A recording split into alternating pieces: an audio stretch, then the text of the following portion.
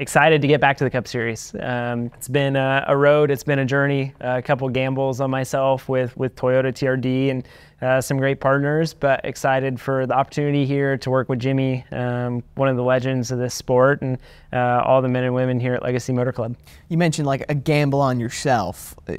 What kind of gamble did you have to take on yourself to get to this Cup ride? I was in Cup at one point, decided to leave the Cup Series, go back to the Truck Series with Toyota um, and, and Kyle Busch, and have an opportunity to, to go win races and try and win a couple championships.